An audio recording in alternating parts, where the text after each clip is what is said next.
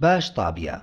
تسمية تركية من كلمتين وتعني القلعة الرئيسية وذلك لأنها تقع على أعلى نقطة في الموصل وبارتفاع 150 قدما عن نهر دجلة.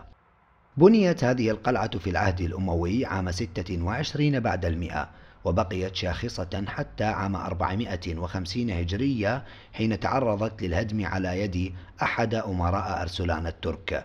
وأعيد إعمارها بعد 25 عاما في عهد الدولة الأتابكية وكانت الحصن الشرقي لهذه الدولة. وهدمت بعد ذلك بحملة هولاكو عام 660 للهجرة وتلاها حملة تيمور لنج عام 726 هجرية.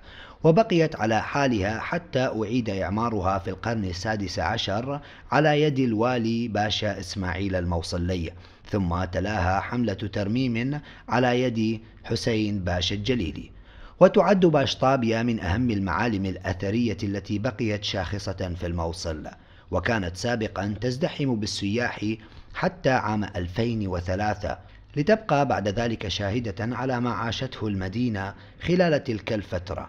وخسرت الموصل بعد عام 2014 العديد من المواقع الأثرية والتراثية وخسرت أيضا جزءا كبيرا من هويتها التاريخية.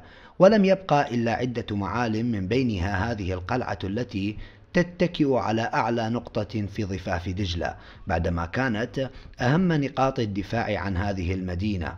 فقد حاصرها نادر شاه وعجز عن احتلالها بعديد جنده الذي بلغ 300 ألف جندي مع 200 مدفع.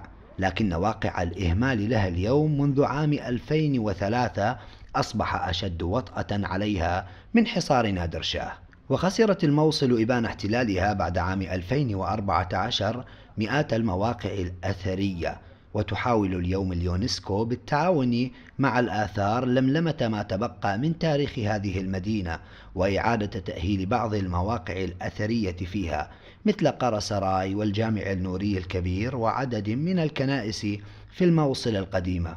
عموما كان هذا تاريخ باش طابية وما عاشته خلال السنوات الماضية ولا أحد يعلم ما الذي ينتظرها في المستقبل.